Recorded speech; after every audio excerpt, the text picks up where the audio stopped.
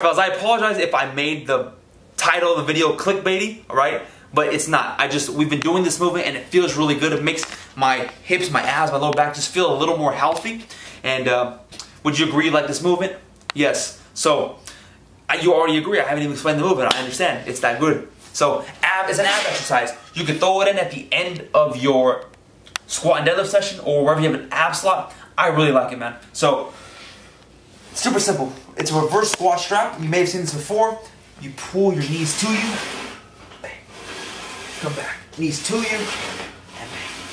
I like this because you can really load your abs.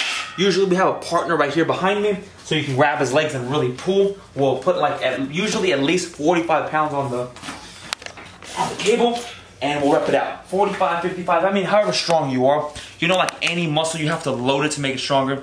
And I like this because the ab exercise you can load.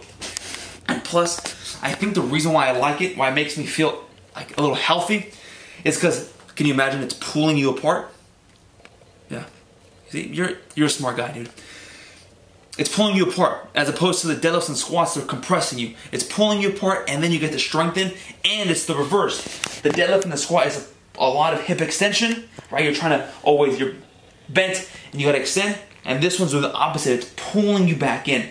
It could possibly be helping make you more even and it pulls you apart. So give that a shot. I'm not saying it's like a magic, it's a cure, it's the thing, right? But I don't know. I just, I, we've been doing it and we like it. Hopefully that helps. Stay strong, God bless. Like the video. Peace.